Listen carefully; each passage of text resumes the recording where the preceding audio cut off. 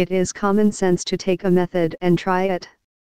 If it fails, admit it frankly and try another.